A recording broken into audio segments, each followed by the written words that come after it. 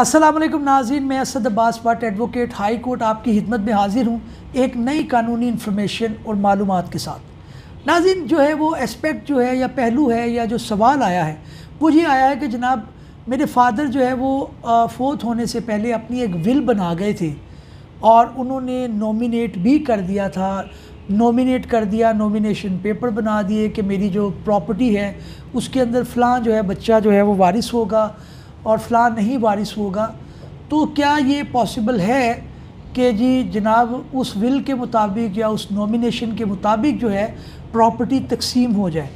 देखिए, जो विल का लॉ है, वो मैंने पहले भी बताया है कि जो सक्सेशन से रिलेटेड मामला है, उसके अंदर जो है वो विल वन थर्ड से ज़्यादा नहीं हो सकती और रजिस्टर्ड भी नहीं है। क्योंकि सवाल के अंदर ये भी इनके मौजूद था कि वो रजिस्टर्ड भी नहीं है और नॉमिनेशन जो है बस वो सिंपल एक कर दी है। सोसाइटी के अंदर कुछ प्लॉट थे, उधर उन्होंने उनको नॉमिनेट कर दिया। तो अब ये बताया जाए कि किस तरह से प्रॉपर्टी के अंदर शेयर्स होंगे जो सक्सेसर हैं या जानशीन हैं या जो कानूनी वारस हैं, उनके शेयर किस तरह से होंगे?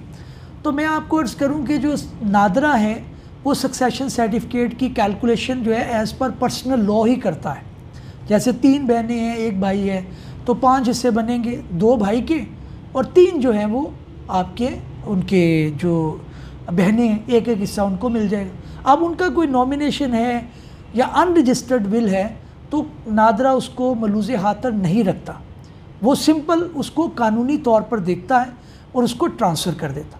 तो अब ये बड़ा इंपॉर्टेंट है कि आप अगर नादरा के सामने लेके जा रहे हैं और आप उनसे ये रिक्वेस्ट कर रहे हैं, जनाब, ये अनरजिस्टर्ड विल के तहत प्रॉपर्टी ट्रांसफ़र कर दी जाए, इसके अंदर एक बच्चे का राइट ज़्यादा है, एक का कम है तो नादरा जो है वो इन डिटेल्स में नहीं जाता।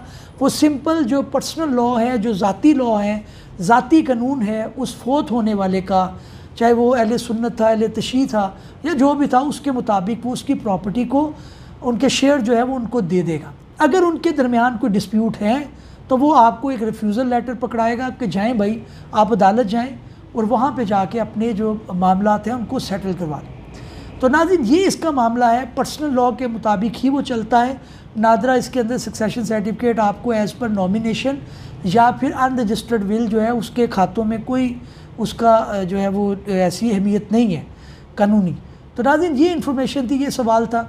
आपसे गुजारिश है कि हमारे साथ जुड़ जाएँ, हमारे चैनल को सब्सक्राइब कर लें और बेल का आइकन भी दबा दें ताकि आपको कानूनी इन्फॉर्मेशन मिलती रहे।